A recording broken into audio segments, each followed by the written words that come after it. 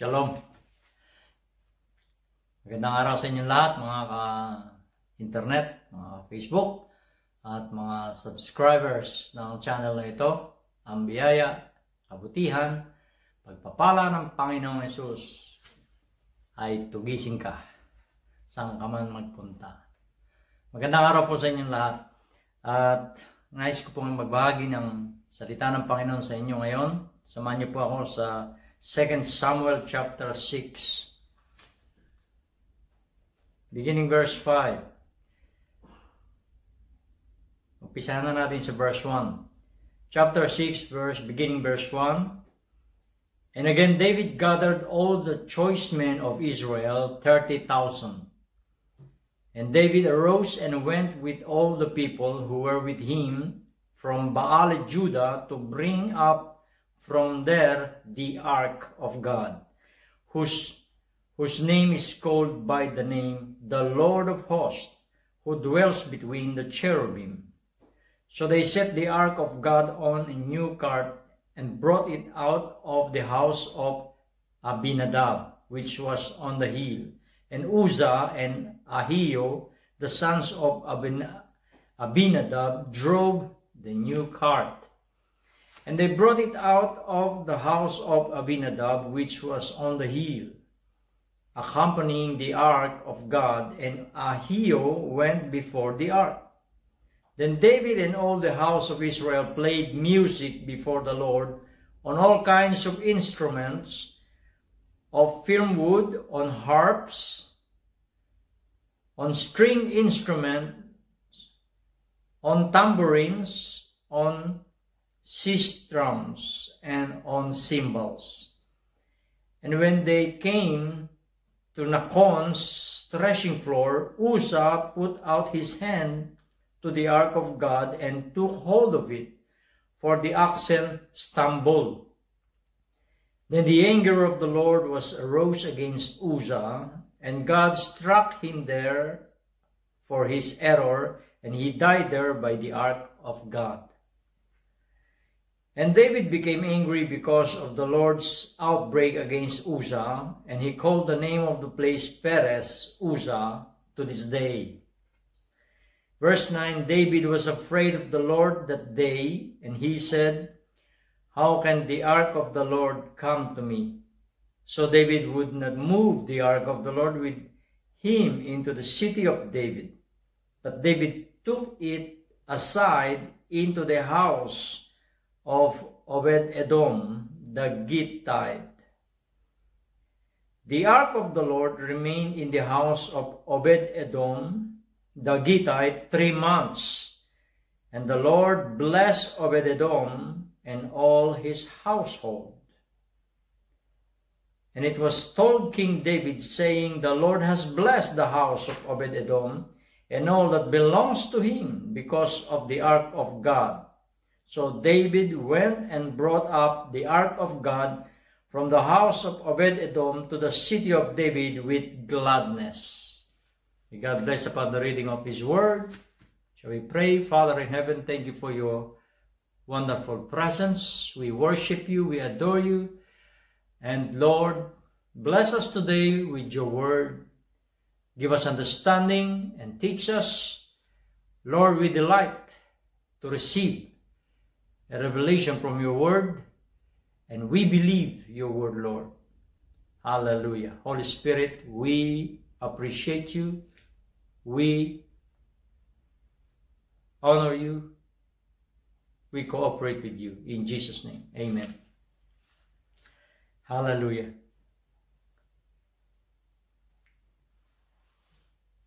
Kahit nasaan ang arko ng tipan, the Ark of Covenant, nandun ang presensya ng Panginoon. Kung saan dalhin, kung ito'y mga kaaway, ito'y nagsisilbing kabigatan sa kanila. Ninakaw yon ng mga kaaway, dinala sa kampo nila at nagkaroon ng mga peste at sakit. Kaya, nung naupo si David bilang hari, ang una niyang misyon ay dalhin at ibalik ang Ark of Covenant sa City of David, sa Jerusalem. Ang kauna-unahang misyon na ginawa ni David ay ibalik ang presensya ng Diyos sa Jerusalem sapagkat doon ang tahanan ng arko ng tipan sa templo sa Jerusalem, sa City of David. Kung nasaan, ulitin ko po, kung nasaan ang Ark of the Covenant, nandun ang presensya ng Diyos. Kung ikaw ay kaaway ng Israel, magdada, mag, magkakaroon ng problema sa inyong lugar o sa, sa, sa, sa, sa bahay ng kumuha nun. Pero kung ikaw ay worshiper ng Diyos at kakampi ka ng Israel, blessing ang hatid sa iyo. Amen. Handa na ba kayo? Isang interesting na naman at napakagandang pag-aaral at pagpapala sa araw nito sa mga salita ng Panginoon na ating pagsasaluhan. Mga kapatid, i-encourage ko kayo, let goodness and mercy follow you. Mag-subscribe ka na para hindi ka ma, para ikaw ay kasali sa mga sa mga nakatunghay na sumusubaybay sa ating channel at napagpapala ng Word of God. Balikan natin. Kung nasaan ang arko ng tipan, nandoon ang presensya ng Panginoon. At patuloy, magpahanga ngayon kung nasa ang presensya ng Diyos, nasa tahanan mo ba? I-welcome natin ang presence ni Lord lagi sa ating tahanan. Dahil kapag ka wala ang presensya ng Diyos sa ating tahanan, kapatid, ibang presensya papasok dyan. Wala akong sinasabi. Basta, wini-welcome pala ang presensya ng Diyos. Hindi lang sa ating buhay, kundi sa ating tahanan. Ito po. Nung nagkaroon ng problema sa pagta-travel ng Ark of Covenant at natakot sila David at mga sundalo niya sapagkat bawal hawakan. Ang Diyos ang may control sa Ark of Covenant. Akala ng tao, babagsak Akala ng tauhan ni David na dalawa babagsak, inalalayan nila. Para bang inalalayan mo ang Diyos? Nagkamali sila noon. At alam nyo, sa presensya ng Diyos, there is holiness. Inistruct ng Diyos yung tauhan ni David na matayon. At nagkaroon ng fear of God sa lahat, especially David. Kaya doon muna sa along the way, may bahay doon. Ang pangalan ng may-ari, si Obed Edom. Dagitite. Three months na malagi ang Ark of Covenant sa bahay ni Obed Edom. And during those three months, ladies and gentlemen, the Lord has blessed the man and his household. Blessed. Pinagpala. At yung pagpapala na yun ay hindi kakaunti, hindi bariya bakit? Pumutok ang balita, nabalitaan, nakarating hanggang palasyo, nakarating sa mga opisyal, sa mga tauhan ni David at ipinarating sa hari kay David ang balita. Ganon katindi, talagang nanagana. Dahil pinatuloy niya sa kanyang tahanan ng buong puso, bukas ang pintuan, ang presensya ng Panginoon, ang, ang, ang Ark of the Covenant. Hallelujah. In also in also in respect to David. Pero ang suma total, winelcome niya ang Ark of the Covenant, ang presensya ng Diyos sa kanyang tahanan. Bukas ang pinto sa gawain ng Diyos.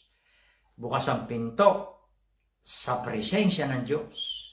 Pag pinapasok mo ang presensya ng Diyos, ibig sabihin, ikaw eh, wine-welcome mo ang blessing ni Lord sa iyong buhay, sa iyong pamilya. Kaya ang napabalita at ang nasulat, pati buong sambahayan, even his household, the Lord has blessed the man and his household. Sa New Testament, mayroong isang napakaganda na pangyayari sa buhay ni Zacchaeus. Si Zacchaeus po, yung mababang tao na umakit doon sa puno habang naglalakad ang Panginoon, hindi niya makita sa karamihan ng tao, may crowd, at since mababa lang siya, umakit siya sa puno para matanaw niya ang Panginoon. Talagang pinursige niyang makita ang Panginoon. Sino dumadaan? Si Jesus. Ha? Talaga? Nasaan siya? Hindi ko makita. Ang kapal ng tao, hindi ka makakasingit. Ang ginawa niya, umanap, nag-isip siya ng idea na umakit siya sa puno upang makita at masilayan ng Panginoon na pinagkakaguluhan. Sino ba yung artista pinagkakaguluhan? Sino ba yung pinag-uusapan na yan? Si Jesus na taga Galilea. Dumadaan. Kaya gumawa ng paraan si Zacchaeus, sumakit siya sa puno. Pagtapat ni Lord, kaya Zacchaeus, Zacchaeus, bumababa ka nga dyan. Zacchaeus, bumaba ka. At ngayon ay pupunta ako sa bahay mo.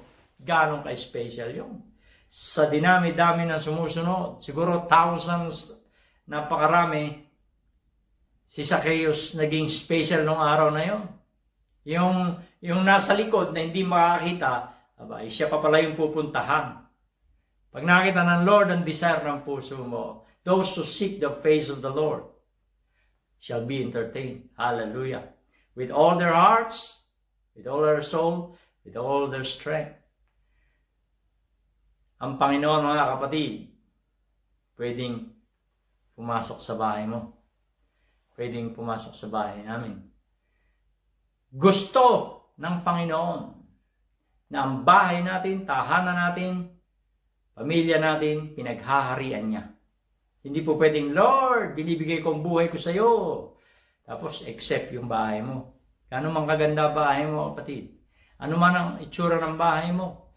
Ito man ay kubo, yari sa kawayan, sa kugon, sa talahib, sa pawid, sa bato, sa yero, anumang uri ng bahayan. Ang mahalaga, yung nakatira sa bahay. Amen ba dyan? Amen. Ang mahalaga tinitingnan ay yung nakatira sa bahay. Gaano man kaganda ang bahay pag ang nakatira daw ay kuwago, hindi maganda ang bahay. Pero gaano man kasimple ang bahay at ka kaordinaryo, pagka nakatiray ginto ang puso, eh, purihin ng Diyos. Mas andun daw sabi ng Proverbs, There is much treasure in the dwellings of the righteous. Balikan natin si Zacchaeus. Zacchaeus, bumaba ka dyan at uh, may tutuloy sa bahay mo. Ganon ka-special po yun. Amen? Special ka sa Panginoon. At sa araw nito, maring bukas, bahay mo naman. Pasukin ng Panginoon. Hallelujah. Lord, kaya alam nyo, yung atmosphere ng bahay natin, kinakailangan magaan at i-welcome natin. Kumanta kayo sa bahay nyo, purihin nyo ang Panginoon. At maibang atmosphere, ang presensya ng Diyos mananahan. Wala nang sakit, karamdaman, kabigatan, kaligayahan, pag-ibig, kasayahan, pagkakaisa at biyaya ay mananahan. Tingnan ninyo si Obed Edom.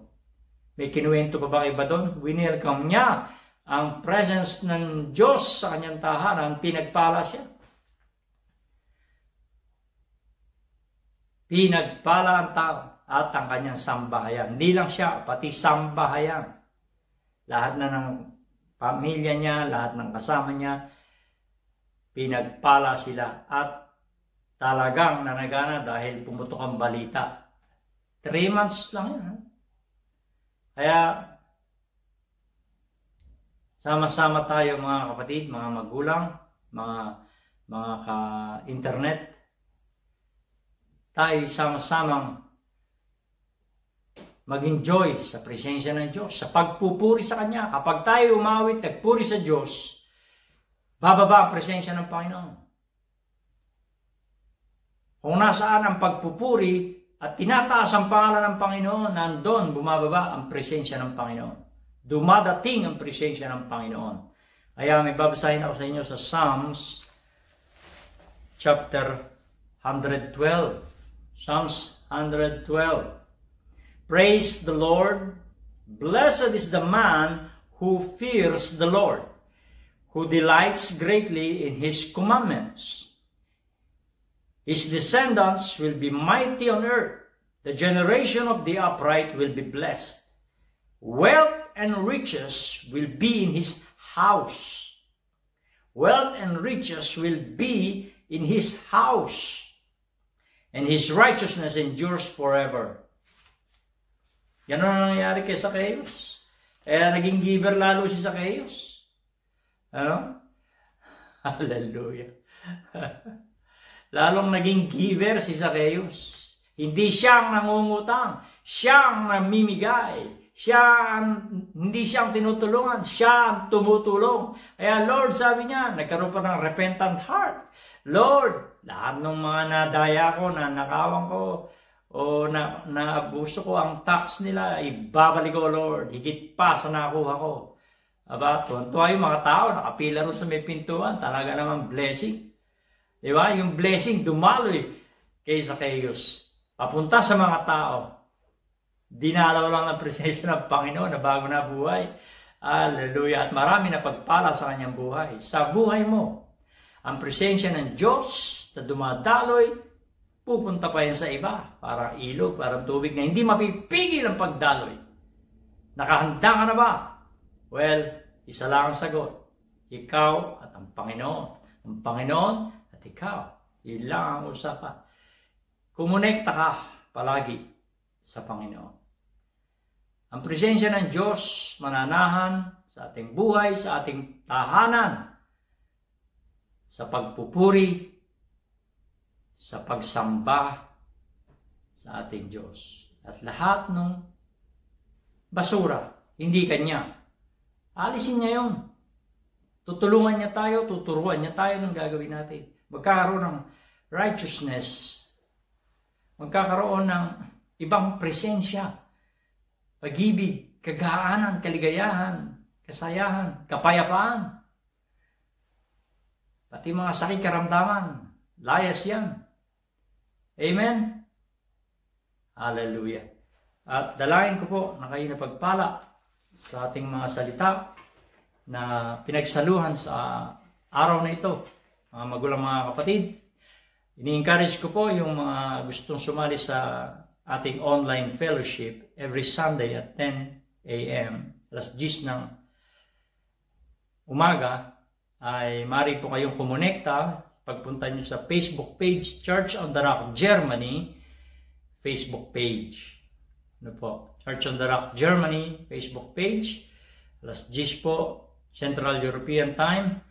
Kung tingnan nyo na lang po sa sa conversion ng time difference sa inyong mga cellphone, kung anong nasaan po kayong bansa, kung saan man kayong city, ay pare nyo malaman kung ano ang katapat ng alas 10 ng umaga sa, sa inyong lugar. Maraming maraming pong salamat at tayo po'y manalangin. Panginoon, salamat po sa banal mong salita na aming pinagsaluhan. Dalangin ko na ang bawat anak mo na nakikinig, nakatune, tune in sa channel na ito ay patuloy mong uh, patuloy kang magpatotoo, Lord Continue to meet their needs according to your word, O Lord, according to your purpose and will.